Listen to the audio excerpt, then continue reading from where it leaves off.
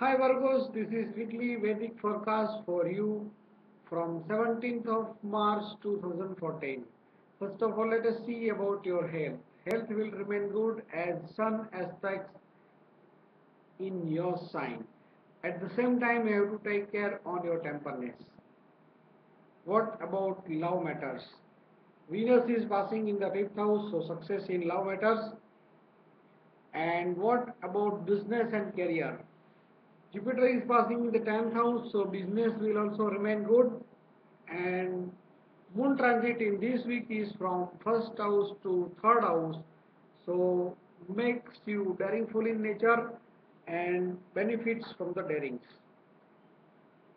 If you have any friend of Virgos, please share this video with them. Subscribe channel. Thanks for watching.